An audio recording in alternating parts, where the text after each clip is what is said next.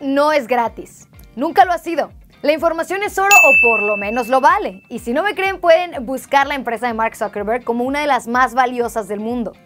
Pero ahora el gigante tecnológico está en el centro de la polémica. En pocas horas, las acciones de la red social cayeron más de 35 mil millones de dólares tras conocerse que Cambridge Analytica, una empresa británica vinculada a la campaña electoral del presidente estadounidense Donald Trump, utilizó los datos de millones de usuarios obtenidos a través de un test de personalidad para influir en las pasadas elecciones.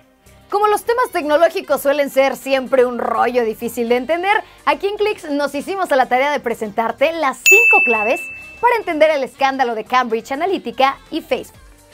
Número 1. Cambridge Analytica. Es una empresa liderada por Alexander Nix que desarrolla campañas para importantes marcas y políticos usando el análisis de datos para cambiar, que bien podríamos decir manipular, el comportamiento de la audiencia. Su trabajo en la campaña presidencial de Donald Trump lo describen como decisivo, al igual que el de otros candidatos republicanos al Congreso de Estados Unidos. Número 2. ¿Cómo consiguieron la información de millones de usuarios de Facebook? Según la investigación, un profesor de la Universidad de Cambridge creó un test de personalidad, de esos que hacemos cuando estamos aburridos y no tenemos nada que hacer. Más de 250 mil personas completaron el test que requería permiso para acceder a tu información privada y la red de tus amigos.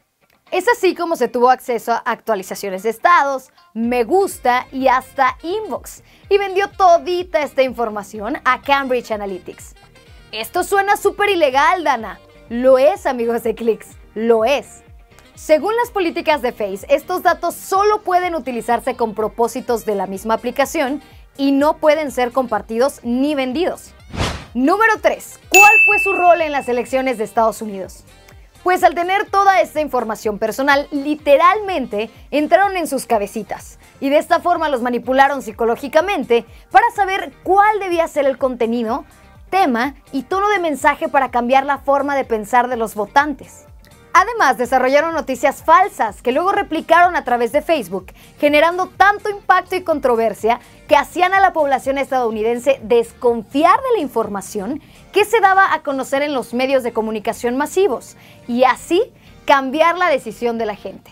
Número 4. ¿Cómo el escándalo trascendió las fronteras de Estados Unidos? Este lunes, el canal británico Channel 4 News emitió un informe basado en imágenes de cámara oculta en las que el líder de Cambridge Analytics ofrece a un periodista que se hizo pasar por cliente potencial desacreditar a sus rivales políticos, tendiéndoles trampas con prostitutas o sobornos.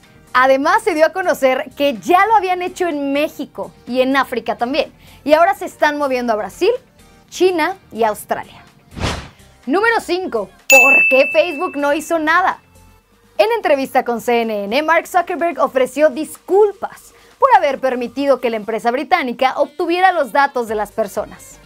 Según la red social, ya no es posible que una aplicación acceda a la información personal de los amigos de los usuarios que la usan.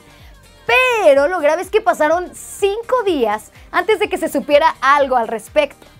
Lo grave del asunto, además de que existió durante tanto tiempo una violación de datos, es que Facebook es la empresa más popular en el mundo de las redes sociales, con más de un billón de usuarios. Y la manipulación de datos resulta un tema peligrosísimo cuando tiene fines electorales. Lo único que esperamos es que el tema quede resuelto antes de las elecciones en México. Para más información visita www.oneclickmediagroup.mx o nuestras redes sociales. Soy Dana Lecuona y esto fue Clicks.